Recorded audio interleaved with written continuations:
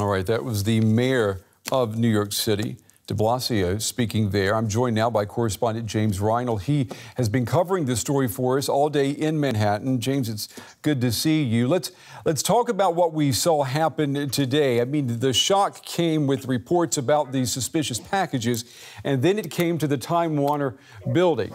Um, but as soon as it happened, almost as fast as it happened, it was also over, it seems.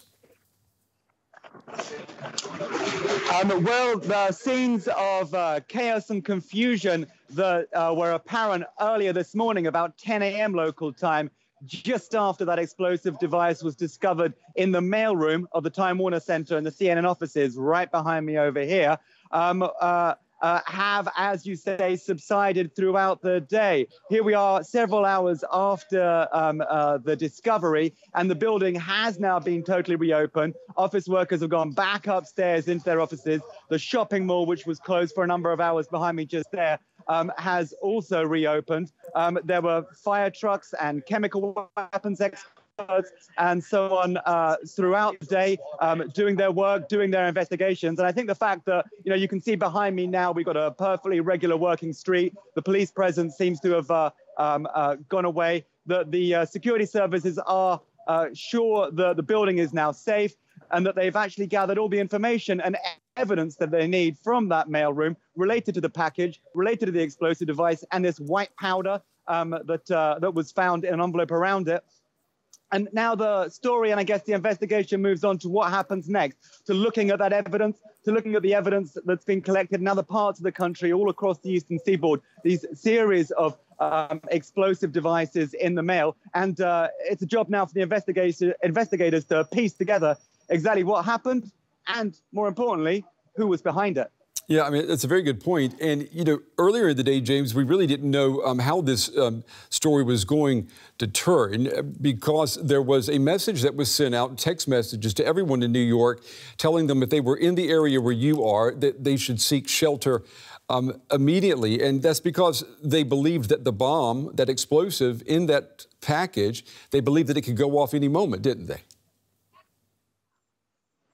Well, I mean, that is the nature of explosive devices. Of course, they can explode. And uh, some of these devices, although they were crude, we've had a photograph circulated on them of them on social media. They do not look like they were made by a professional bomb making outfit, but they were clearly designed to do harm. Inside some of them, for example, were shards of glass. And this is a typical thing in the, in the structure of a pipe bomb to magnify the impact. I mean, I guess the most important thing that we can say uh, about uh, about what's happened throughout the day, um, and this is, I guess, to some extent, a silver lining about that, is that although there have been a number of bombs that made it through the mail and did get intercepted, none of them actually did go off.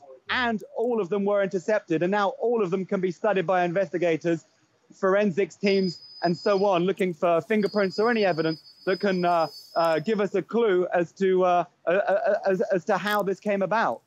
And we still don't know um, who sent these packages, um, which of course leaves a lot of unknowns, a lot of uncertainties in this story. What are people there in Manhattan, what are they telling you? Do they feel secure after what they experienced today? I mean, are they certain that tomorrow there won't be a repeat of what happened?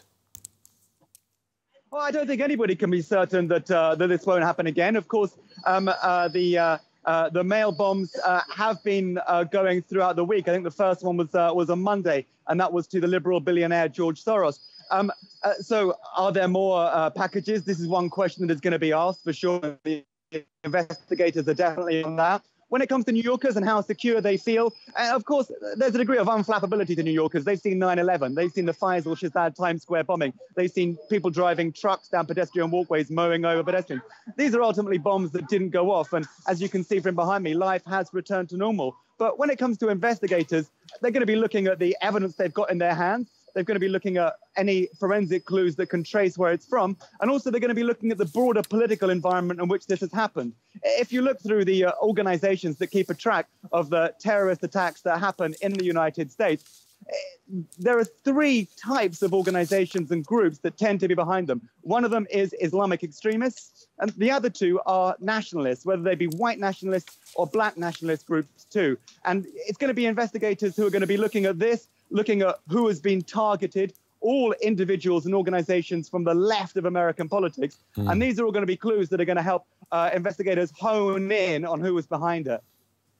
Our correspondent James Reinl on the story for us tonight in Manhattan. We certainly do appreciate your coverage today, James. Thank you.